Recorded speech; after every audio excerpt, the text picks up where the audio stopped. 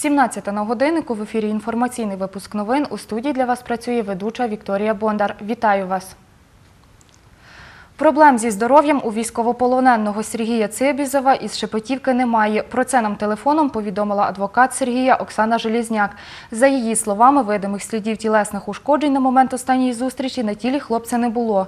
Полоненому 25 листопада українському моряку Сергію, Цибізові Підконтрольний Росії Київський райсуд Сімферополя обрав запобіжний захід у вигляді тримання під вартою до кінця січня. Следователь ходатайствовал именно об этой мере пресечения, в связи с тем, что Сергей не является гражданином Украины, здесь у него нет никаких социальных связей, нет жилья, а следовательно, по мнению следствия, он может скрыться от органов предварительного расследования и суда. Все будет в рамках российского законодательства.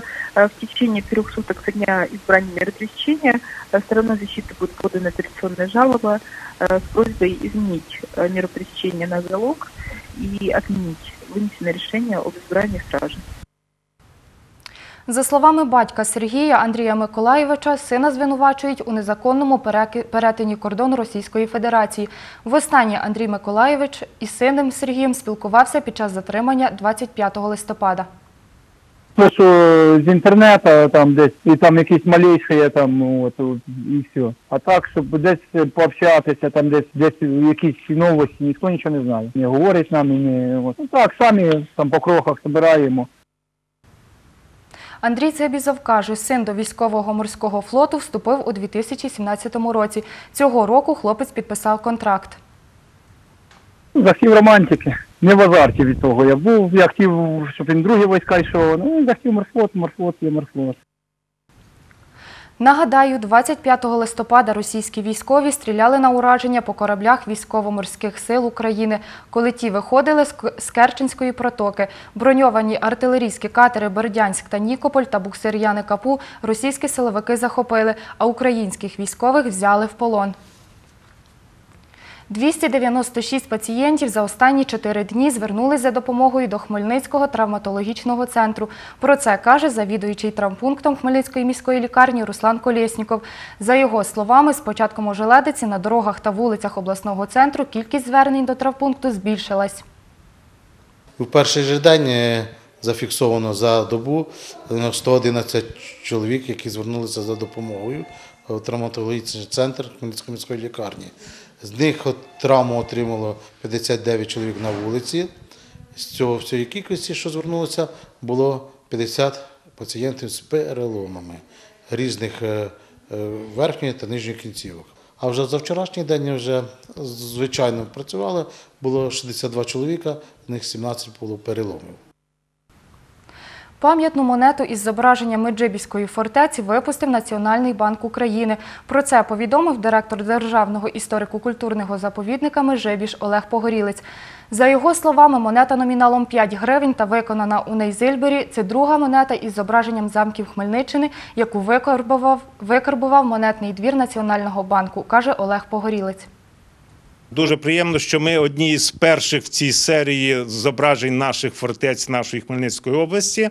І зрозуміло, е, вона ж розповсюджується не тільки в Україні, це вже міжнародний всесвітній проєкт, і е, нумізмати із Штатів, з Канади, особливо з Канади, де багато українців, колекціонерів, вони вже замовляють цю монету і вони вже її отримують. Це у- унаочнення того, що являє собою дійсно ось ця перлинка, яка в нас є в області, яку ми зараз відроджуємо. Сьогодні розпочався День інтерактивності у Хмельницькому обласному художньому музеї. Про це повідомила науковий співробітник закладу Ольга Нікітіна. За її словами, відвідувачам Хмельницького обласного художнього музею пропонують зробити селфі з картинами та додати їх у соціальні мережі, аби висвітлити експозицію, яка сподобалась найбільше. 28 листопада музей причиняє свої двері на день інтерактивності. Саме в цей день, з поміж звичною екскурсією залами та ексклюзивною експозицією музею, всім гостям доведеться долучитися до наших спецзавдань та активностей. Крім цього, у мережі на нашій сторінці у Фейсбуці ми запустили акцію Чекін у музею. Тобто, кожен охочий подолянин може завітати, оглянути нашу експозицію, вибрати ексклюзивно тільки своє полотно або просто просто будівлю музею, зробити фото, зачекінитися, додати хештег та відмітитися у нашій зустрічі. Ми запрошуємо вже всіх подолян долучитися до огляду нашої експозиції. І вже на сьогоднішній день маємо сім ексклюзивних груп екскурсантів. Перший сольний концерт лауреатки міжнародних конкурсів Ольги Абакумової представлять у Хмельницькій обласній філармонії.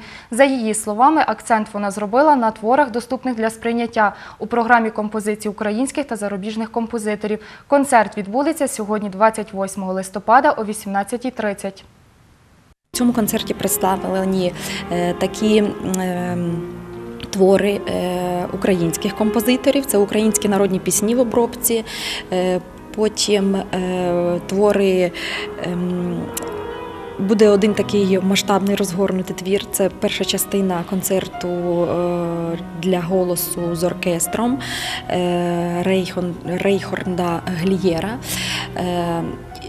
Також будуть представлені твори е, західноєвропейських композиторів. А компонувати мені буде Мирослава Слєсар, наш концертмейстер, і пару дуетів буде такий маленький сюрприз е, Степаном Дробітом.